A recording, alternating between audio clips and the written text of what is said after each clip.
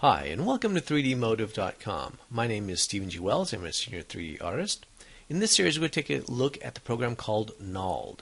It's a map generating program. Uh, it, will generate your height map, your normal map, derivative, ambient occlusion, convexity, concavity, and even a transmission map. You only need a single image to be able to start working that. You can adjust all the fine details uh, especially with the ambient occlusion maps, you can really adjust how that's going to be. Uh, again, you can bring in just a, a, simple black and white image, or we can start with a color image, let's say of, of tree bark, and we can go from there.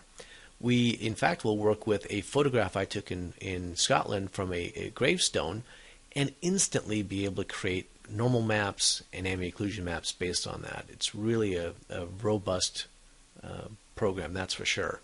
We're then going to actually take a mesh that has UVs, just a sphere, and we're going to actually create the moon with it with a simple height map we're going to use of the lunar surface, and we're going to be able to make all the adjustments we need and then review the model in Marmoset to take a look at how well everything worked out. Okay, let's get started.